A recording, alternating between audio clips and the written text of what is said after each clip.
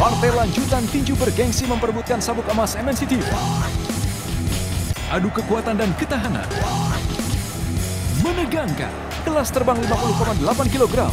Juara nasional Devri Palu, The Next Chris Chong versus peringkat 5 Thailand, Kun Kiri War Wisaro. Dilanjutkan. Kelas bulu junior 55,3 kg. Ruben Manakane versus Rasmanudin.